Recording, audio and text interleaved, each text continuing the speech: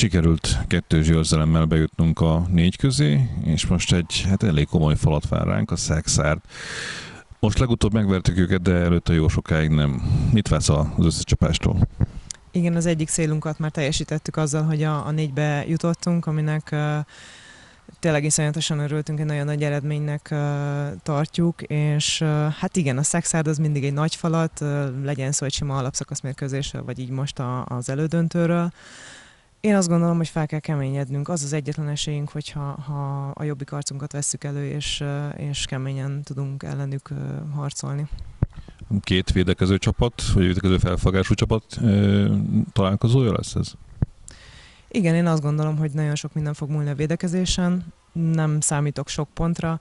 Nekünk azért nehéz lesz igen idegenben játszanunk az ő közönségük előtt, tehát azért mindenképpen egy, egy, egy borzasztóan nehéz mérkőzés lesz, ahol a mm, védekezés dominálhat. Csapat fejben egyben van szerinted?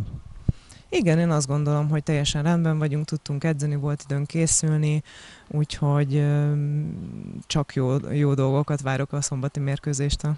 Legyen így, köszönöm. Én is köszönöm.